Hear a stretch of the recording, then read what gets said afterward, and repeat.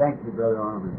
We are happy tonight to be here to hear this wonderful message from, from the lips of our brother, we believe to be anointed of the Holy Spirit, to bring us these great tidings of, as instead of exhortation, how we should live in this present day and holiness before God and before one another. We, we, we want this holiness among us, that no filthy communications be heard among us all as we profess this great calling of God. We must walk worthy of this thing that God has brought us to. And we're way down towards the end of the journey now where we're expecting the exceeding abundantly above all that we do or. And remember, we want to constantly be in prayer. Above all things, watch your life. If your life don't tally up with God's holiness, then go back and start praying again. There's something wrong. See? We must live in that kind of a state that the fruits of the Spirit will make itself known through us. That's what we want to live. You know, sometimes we hear great preachers who can preach mighty, but we'd rather see a sermon live than we would hear one preach. That's the evidence that God is on the inside. Now, we are having come into the communion table. And now, uh, yeah, there's some that doesn't take communion, and maybe they just take it in their own churches, but we'd be happy tonight if you could want to uh, fellowship with us around these things. We never draw any lines of who, as long as you're walking worthy uh, of the gospel that you're you're listening to and confessing to be part of. You know, you're part of this gospel. You are you are written epistles of what we're talking about. And as long as we do something that's reproachful, then we are an impediment to what we're listening to. We must live what we believe and live it in such a way that it will never reproach but reflect Jesus Christ in all things that we do and say. That's the way it is. We just love Him for this. And now tonight, we're going to read the order of the Lord's table that's found over in 2 Corinthians about the 11th chapter. And we read this and just let each individual. How we do this, if there's newcomers among us, we call the people around the altar and in succession as they come in, take the communion, and every Christian is worthy. Now, if you live a life that proves what you are, you want to search your heart, or let me be sure to mention this, that the scripture reads here, if we take it unworthily. Now, we know that we are not worthy in ourselves, none of us are. But that we are not trusting in our own worthiness, we're trusting in Him who has, we're, we're trusting in His worthiness. Amen. That we have died to our own thinking and just think His thoughts and live that everything that we believe He commands us to, and look back and see what we're living and look our life over. And if we're doing things that's not worthy of the gospel, then we shouldn't take the communion. But if we're doing things that we think that it, that our lives could be read of all men, that if anybody could not point a finger and say, I seen this man in a bar room the other day. I, I heard this man standing telling filthy jokes, this woman doing wrong. Then if you know that that's the Holy Spirit pointing to you, then, then don't take the communion. But if you if you feel that that you're living, that you look back and see that all your sins are confessed in another blood, then you you're supposed to take it. You're, you're part of it. Now let us read the scripture just as St. Paul exhorts us here in the book of St. John, the, I beg your pardon, in book of First Corinthians, the, uh, the 11th chapter, beginning with the 23rd verse. For I have received of the Lord which also I delivered unto you, that the Lord Jesus, the same night which is betrayed, took bread. Wish I had time to, uh, to speak that a little bit. The same night that he was betrayed, you see, he took bread. And when he had give thanks, he brake it, and said, Take and eat, this is my body which is broken for you. This do in remembrance of me.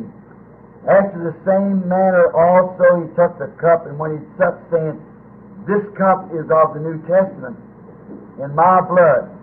This do ye as oft as you drink it in remembrance of me. For as oft as you as you eat this bread and drink this cup, you do show forth the Lord's death till he come. Wherefore, whosoever shall eat this bread and drink this cup of the Lord unworthily shall be guilty of the body and the blood of the Lord. But let a man examine himself, and so let him eat of the bread and drink of the cup. For he that eateth and drinketh unworthily eateth and drinketh damnation to himself, not discerning the Lord's body. For this cause many are weak and sickly among you, many sleep. For if we should judge ourselves, we should not be judged. But when we are judged, we are chastened of the Lord, that we should not be condemned with the world. May I bring that a point?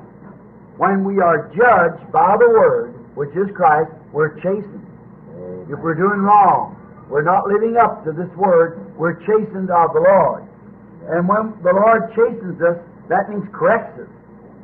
That we should not be condemned with the world. We are not of the world. Amen. We are different from the world, live a different life, a separated life. We're never to live the life of the world and be a Christian. We're to live a, an outstanding life, a different life. Not, I don't mean in such social ranks, but I mean we're to live a life of genuine holiness. Amen. That the fruits of the Spirit might be seen in us, the meekness and gentleness and patience, Amen. long suffering, faith, the fruit of the Spirit.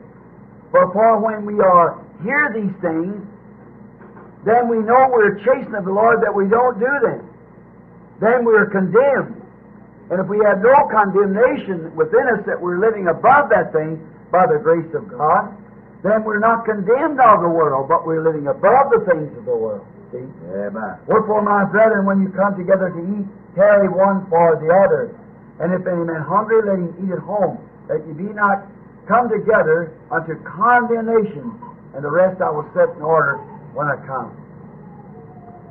We've always made great exhortations on this, that when we come together, even though that we can see nothing, there might be something in somebody else that we notice that wasn't right. When you come together to eat this communion, uh, wait on one another. Pray for one another. Pray that we always make it this. I pray for you. That if you if there's some sin in you, that some unrighteous deed or something you've done as a believer, I, I pray that God will take it out of you. That He'll forgive you for it. And you pray for me. That if there's some something that I've done that I don't know just about, if I've done it and know that's wrong, I, I'll confess it right now. I'm fixing it because he that eateth and drinketh unworthily eat and drinks damnation to himself, Yeah. not discerning the Lord's body. The discernment of knowing that you are the Lord's body, you can't discern it. Uh, in, in wickedness and sin, we've got to be above that. That we discern that the Lord is righteous and we discern that He's our propitiation, that all of our sins we confess and we believe in Him and waiting upon His atonement to cleanse us from all of our iniquity. Then we're discerning the Lord's body, that what it, discernment of what it's for. And then discerning again that in among us as the Lord's bride body, Let's discern if there's anything wrong with us in here that would hinder the gospel from growing or the Lord for presenting us before God as a chaste virgin. Let's discern that out right now and find if it's wrong. Let's confess it it's wrong. Let, let's say, Lord, I'm sorry about that.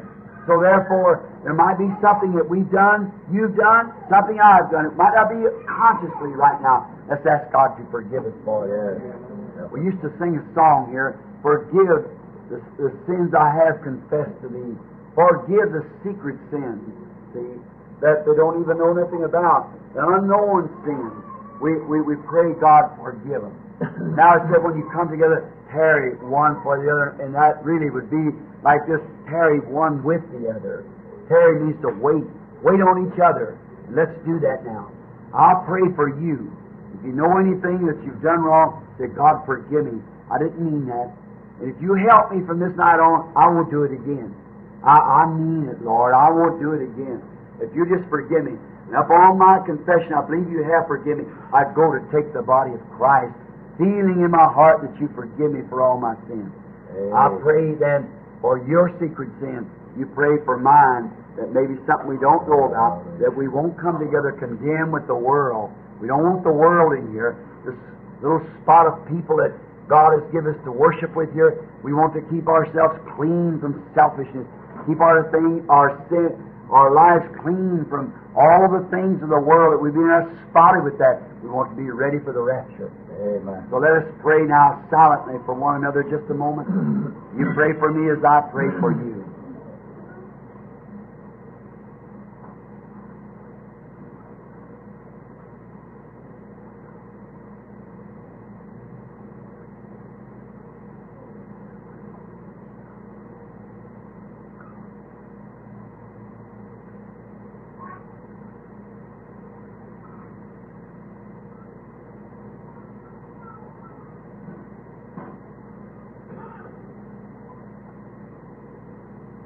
Lord Jesus, let it be, Lord, that all of our sins be now in the blood of the Lord Jesus, in the forgetfulness of God's recollection, that we come together now as beloved believers and children in Christ.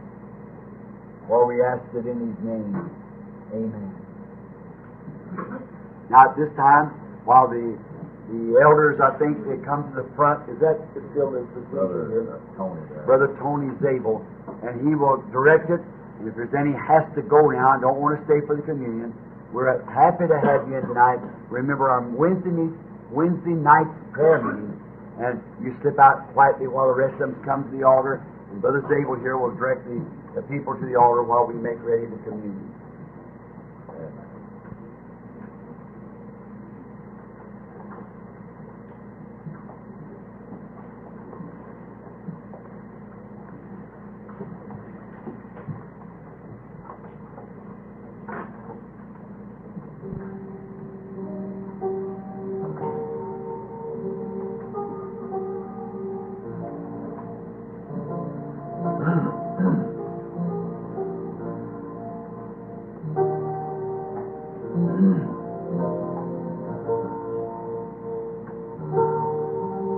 This represents the body of the Lord Jesus, the bread.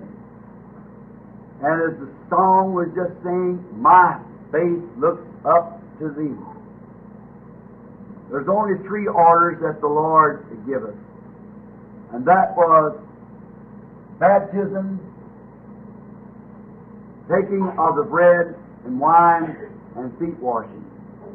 is The orders and this represents the broken body of Christ.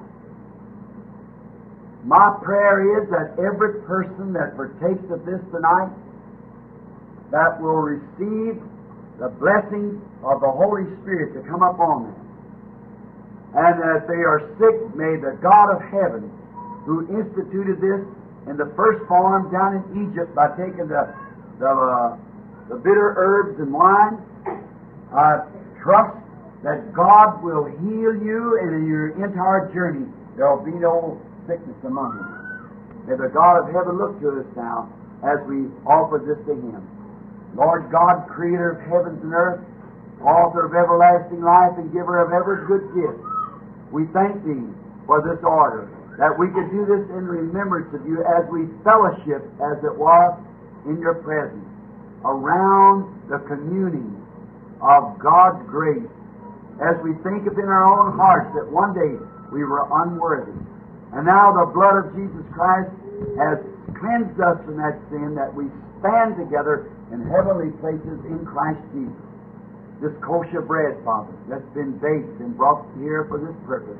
We ask you to sanctify it, Lord, that in the representation of the broken body, as the sacredness and the pain and suffering that He did at Calvary. When this body was broken, that He was wounded for our transgression, He was bruised for our iniquity. The chastisement of our peace was upon Him, and with His stripes we were healed. That's why we take this broken bread tonight. God bless the believers and sanctify this, this uh, kosher bread to be the representation of the body of Jesus Christ. Amen. The Bible says, in like manner he took the cup, and when he had supped, he took, said, Take and drink, this is the cup of the New Testament. As often as you do this, you show forth the Lord's death till he comes. So I hold in my hand tonight this wine, made from the from the life of grace. It's been brought together here to represent the blood of Jesus Christ. There's never a time yet that I've ever picked up the communion tree but I just look in there and see my sins gone. Hallelujah. I see if it hadn't been for that, what, what, where would we be? I think of in there where a sick man lay dying there in a hospital, me. And it's three stripes I was healed. May the God of heaven bless this wine, for it's intended me. Lord Jesus, we present to you this grape juice, wine, taken from the blood of the grapes to represent the blood of Jesus Christ. May as we receive it, Father, may sickness depart from us. May sin, desire be taken from us.